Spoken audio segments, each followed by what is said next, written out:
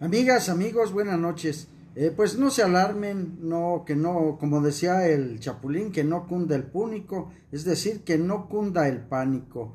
Eh, hace cosa de, pues unos minutitos, eh, se sintió un ligero temblor aquí en la ciudad de Pénjamo. Este temblor, amigas, amigos, se sintió también en municipios aledaños a Pénjamo, como lo son Irapuato, Abasolo, Guanímaro, Cuerámaro, eh, fue, fue una cosa eh, casi, casi momentánea, como si usted hubiera sentido un ligero mareo, eh, pero tembló. Tembló aquí en lo que es la región suroeste de Guanajuato. Pues, caray, preocupados, eso sí, por la serie de fenómenos pues muy propios de la naturaleza que se han dejado sentir en los últimos días por aquí en la zona suroeste de Guanajuato.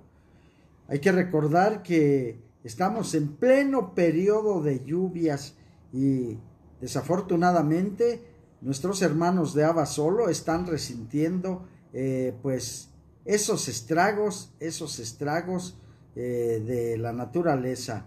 Por aquí eh, Juan Pedro García nos dice eh, que allá en Irapuato sí se sintió más fuerte el temblor. Pauli Aldo Rodríguez nos dice, sí lo sentí, sí, sí creo que pues la mayoría de las y los penjamenses lo sentimos, fue algo, vuelvo a reiterarlo, algo muy, muy ligerito, pero sí se sintió. Eh, estoy viendo los comentarios de personas, de amigos de Irapuato y nos dicen que allá estuvo más fuertecito. Anita Chagoyán nos dice que en la ciudad de Morelia eh, se sintió eh, más fuerte. Eh, pues son, son los movimientos telúricos, amigas, amigos, vuelvo a repetirlo, muy propios de la naturaleza y de los fenómenos naturales que estamos sintiendo en estos días. Mucha gente atribuye que pues todo esto viene a consecuencia del cambio climático, pero pues solamente los especialistas son los que en un momento dado eh, pues pueden determinar las causas. Eh, recuerdo que hace cosa de un año y dos meses por evento aquí en Pénjamo, en el municipio de Pénjamo, allá en la comunidad de Cieneguita de Morales, se abrió un tremendo socavón en la tierra eh, que abarcó varios kilómetros con una profundidad pues considerable a la fecha, pues ahí está todavía, eh, caray, pues vuelvo a sentirlo. Miren, me dicen que en el estado de Morelos se sintió muy fuerte también. Eh, vuelvo a repetirlo. Aquí en Pénjamo fue muy leve, muy ligerito, cosa de, pues segundos, unos segundos nada más. Eh, nosotros estábamos aquí en la, en la oficina y sentimos el, ligero así movimientito. Dije, ah, caray, ¿qué pasó? Eh, a lo mejor el exceso de cansancio, no sé, pero no, se sintió, se sintió eh, ligero, pero sí se sintió aquí en Pénjamo. Pues, amigas, amigos, pues hay que pedirle a Dios que nos proteja. Eh, miren, también me dicen que en el Estado de México se sintió también fuerte. Bueno, allá son zonas un tanto cuanto más susceptibles. dicen que en Chimalhuacán se sintió más fuerte todavía. Vuelvo a reiterarlo, son zonas pues, caray, eh, pues muy propensas a ese tipo de situaciones. Eh, vuelvo a repetirlo, solo los expertos en sismología son los que pueden determinar las causas, los motivos. Eh, me dicen que en Puebla, en Puebla se sintió fuerte. hay que recordarlo, hasta en la capilla de Márquez también se sintió. Claro que sí, vuelvo a repetirlo, aquí en el municipio de Pénjamo se sintió ligeramente, ligeramente, pero se sintió. Eh, acuérdense por evento, en aquellos años del 85 y el 18, en la capital de la República, aquellos devastadores terremotos que pues lastimaron, lastimaron y duro a la capital de la República. Y desde luego, pues a estados cercanos como lo fue Guerrero y Oaxaca, eh, el mismo estado de Morelos, el estado de México, eh, vuelvo a repetirle, amigas, amigos, estamos en manos del Supremo Creador. Él, en su gran omnipotencia, pues nos cuide, nos proteja. Eh, son fenómenos que pues no quisiéramos, no quisiéramos que, que se presentaran jamás. Pero vuelvo a repetirlo, recuérdenlo ustedes, son fenómenos de la naturaleza. Por eso, en la Purísima de Ramírez también, claro que sí, muchas gracias a nuestro auditorio de Purísima de Ramírez. En Chinguindín, Michoacán, se sintió también más fuerte. Eh,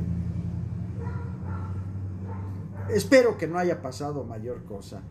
Eh, pedirle misericordia a nuestro Señor, nos están diciendo por aquí algunas personas del auditorio, claro que sí. Eh, vuelvo a reiterarlo, el Supremo Creador, pues es, es lo máximo. Nos dicen que fue de 6.9 en la Ciudad de México. Pues caray, híjole, sin palabras, sin palabras. Vuelvo a reiterarlo y coincido con lo que está señalando nuestro auditorio. La misericordia del Todopoderoso nos cuide, nos proteja y les bendiga a todas y todos ustedes, amigas, amigos, a sus familias. Eh, son momentos de, pues, querer mucho a los de nosotros y también a nuestros semejantes.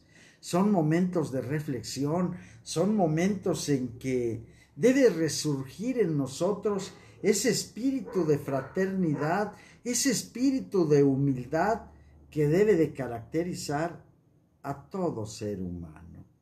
Me dicen que en las ánimas también se sintió. Muchas gracias, estimado auditorio, por estar eh, conectados con los muros electrónicos del Grupo Periodístico Suroeste de Guanajuato.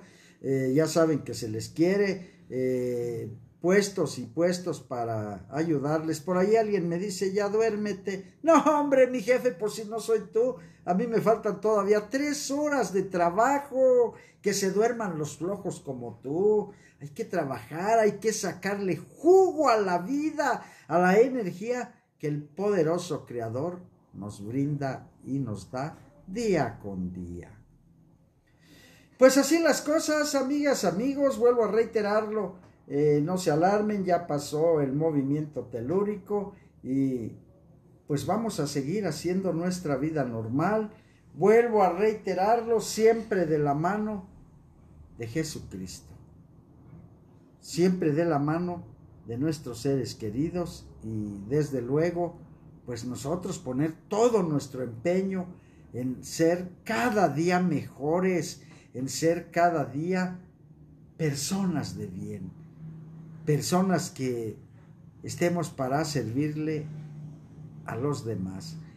En Acapulco Guerrero me están diciendo que fue el epicentro de 6.9. En Acapulco Guerrero el epicentro 6.9 de este temblor que se acaba de sentir en buena parte de la República Mexicana y que vuelvo a reiterarlo, aquí en Pénjamo se sintió ligerito.